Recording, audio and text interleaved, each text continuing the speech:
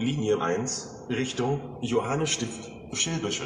Linie 1, Richtung Bethel, Senne. Linie 2, Richtung Landgericht, Sieker. Linie 2, Richtung Baumheide, Mielze, Altenpark. Linie 3, Richtung Rathaus, Türkop-Tor 6. Linie 3, Richtung Nordpark, Badenhausen Süd.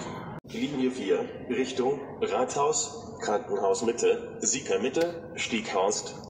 Linie 4, Richtung Universität, Lohmannshof.